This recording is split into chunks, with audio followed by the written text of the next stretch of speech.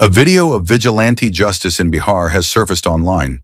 The video reportedly from Bihar's Araria shows a group of people torturing a man accused of theft.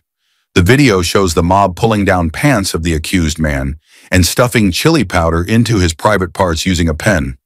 People in the video are heard telling the accused man to bow further down as he begs for forgiveness. The torture was recorded on phones and the video spread on social media, resulting in police action.